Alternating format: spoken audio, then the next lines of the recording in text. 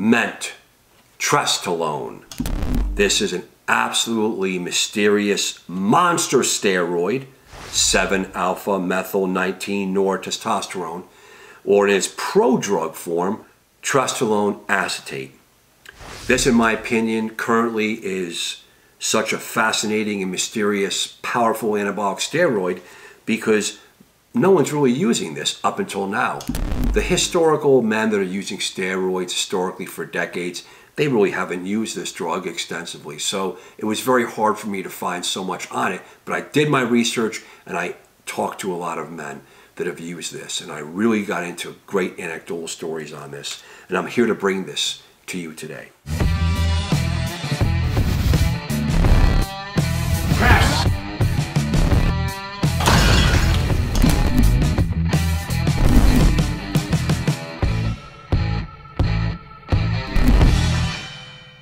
History of this drug goes back, like the other steroids, to the golden era of synthetic steroid production in the 1960s. It was never marketed from 1960s. Then 30 years later, in the mid to late 1990s, Shearing blows the dust off of this agent and they make it an experimental anabolic steroid where they were looking to market this drug for male contraception and as an alternative to testosterone for testosterone replacement in men that are hypogonadal. That's incredible. And part of the mysterious aspect of this is the legal status. Some people say it's a prohormone, and you think of prohormones, you think of oral agents. This is not an oral agent, and we'll see why when we talk about the chemistry. So the legal status of this is a gray marketed steroid prohormone, and it's been marketed even quite openly by some companies on that gray market peptide sites. Because legally, it's never been put on an anabolic steroid list. It's never been marketed as an actual medicine. The chemical structure of ment, trestolone, 7 alpha methyl 19 nor testosterone. Yes, it's a 19 nor anabolic steroid. It's nandrolone derived. And we'll see the similarities to decadecaborane and tren. With a methyl group at the C7 alpha position, this creates the properties of this drug. Massively, massively anabolic and incredibly androgenic. Now, if we look at the classic staging and standardization of anabolic androgenic steroids. Back in the day, everyone knows you have a two scale system compared to testosterone that is 100 on both anabolic and androgenicity. So everything's compared to testosterone. So if you look at Tren, for an example, it has a 500 rating on both anabolic and androgenic. Ment has a 650 androgenic rating, and the anabolic rating is 2,300. Now, this is unbelievable. Now, that rating scale, everyone knows, is really in the lab. It's not clinically in real humans, although it's obvious that these drugs are more anabolic or more androgenic in their properties. But this is really in the lab animals. But I just found that this, to me, those numbers are off the chart. And there's no higher numbers in any of the standard tables. This is the highest, especially for the anabolic rating. Side effects of this drug are the key aspect of this presentation. Estrogenicity and progestational side effects. Remember, it's a nandrolone derived, so you're going to see some similarities here. Technically, it has weak estrogenicity via the production of a synthetic estrogen, 7 alpha methyl estradiol. And the amazing piece of this is that in the studies where they were looking at this drug meant for TRT as an alternative, they found out that men had lower bone density in these studies on trial using this drug. We know that part of that is going to be from estrogen stimulation directly on the bone. Now, I think this is one of the main reasons why this drug uh, was not brought to market. So, technically, it has this aspect of lower estrogen stimulation. Now, clinically, everyone knows that you're going to get what appears to be massive side effects of water weight gain and estrogenicity. Look at this paradox. So, weakly, technically estrogenic, but in the streets, clinically, it's massively estrogenic. And one of the men that I talked to about this said, Doc, make sure you differentiate that. That it looks like scientifically it has a pro effect of low estrogenicity with this synthetic estrogen that's produced. But clinically, guys just blow up and can gain 20, 30 pounds of water in a couple weeks on this drug. This is like Dianabol on steroids. Really, it's incredible.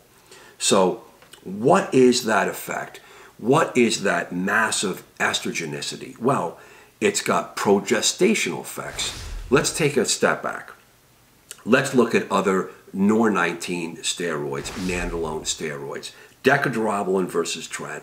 So decadrabolin has massive puffiness and water weight gain. Everyone knows that. It's not a cutting drug at all. But it's such a similar drug to this. So the progestational effects of that nandrolone drug and this nandrolone drug must be quite similar. Even though chemically they have such slight changes in the functional group. Now, Tren, that's a lean, hard cutting drug. It does have progestational effects, but obviously it's very different clinically how these things all work, but they're all nandrolone derived drugs. I found this to be absolutely incredible. Now move on to the androgenic effects of this drug. Very androgenic compound inherently due to the C7 alpha methylation, trastuzumab is resistant to 5 alpha reduction. So DHT blockers, finasteride, dutasteride will have no effect. There is no dihydrometabolite produced. Now again, let's compare to decadrabolin. Decadrabolin does have a dihydrometabolite compound produced, dihydronandrolone. Now, this dihydrometabolite as a nandrolone decadrabolin is weaker in its androgenicity. Now, thinking about this drug meant, I think about the target tissues and I think about the prostate, I think about the hair, because that's what everyone thinks about, acne and so on and so forth, when you think androgenicity. In the studies for this drug, one of the reasons why they wanted to use it as an alternative to testosterone is that it appeared to have less androgenicity and stimulation on the prostate. Prostates in these men shrunk versus on testosterone, we do know that it can enlarge. TRT can definitely lead to BPH. I see it every day in my medical practice. Thank God it doesn't look like it causes prostate cancer, but if you have prostate cancer, even a little bit of prostate cancer, even a few cells, and you start TRT, it can definitely further grow that.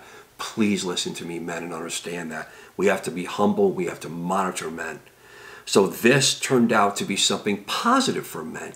The doctors thought, here we're going to have a drug we can use for TRT. Maybe it presents a nice well-being for men and we could use it and it won't grow the prostates. This was back almost 40 years ago. What happened to this? Another mystery. It didn't work out. Now, androgenicity on the central nervous system. It must be positive. This is why men feel well on androgens, not to mention if there are mood destabilizing aspects to a man, this can cause definitely mood worsening. This can a man that has any mania could be manic. We all know about roid rage. It's a guy that has a propensity, and we know that it's a doc, it's an asshole. Now it's an asshole on steroids, and that's roid rage. We don't know. We have no studies on this at all. That's why I have this channel and I present these aspects to you openly. Hair. We know that hair in a man that's susceptible has DHT. It converts testosterone to DHT, and the hair follicles get affected and they're shedding. Now, ment. We know it must be the parent compound directly affecting the hair here because there's no dihydrometabolite. If you look at the anecdotes, the guys that I've talked to and the videos on the internet, on YouTube, you'll see that it probably does accelerate hair loss. So I want to bring that to your attention. So, in summary, this incredible mysterious steroid, what's going on here? We don't know. Very limited amount of studies, never marketed as an actual medication for TRT or contraception for men. And only now it seems to be coming into play in the underground. Be very careful. What else is part of this mystery? The doses. How do these doses come to play from clinical trials? 0.8 milligrams per day. So less than one milligram per day for men TRT, using it for TRT or contraception. What's going on now? What are the doses now? The doses now are used in the underground 20 milligrams a day, I found, up to 70 milligrams a day. No wonder this is over 50 times the dose used in the studies. No wonder there's massive side effects to this. But we've seen this before. I've seen this before. 15 years ago, when I saw SARMs coming into play, Ostarine, the dose was used in the streets was 25 times higher than the doses used in the studies. I am absolutely amazed that the powers to be and how who picks that we're going to use this dose in the underground and then it runs and it takes off from there. Isn't that incredible? So it's why wouldn't it be maybe double the dose of what was used in the studies? No, it's up to 50 times the dose. Absolutely incredible. Please help me out with this. Please give comments on this drug. I think this drug, unfortunately, is a very dangerous drug, very powerful, much more powerful than Tren. And I see the damage that trend causes on a man's central nervous system, not to mention the cardiovascular system, the kidney system, and the prostate system. So please be careful. Please believe me. If you're young and you haven't used steroids, or you're older or middle aged and you're using steroids, you have to be careful. You have to take your health to be so serious. The consequences of using these drugs or any drugs at all can be severe. Thank you so much for watching this video. Let's get some great comments going. If you've been on this drug, please comment and give us your experiences. I really appreciate that. Men in the world will really appreciate this. I really hope this helps. Thank you so much.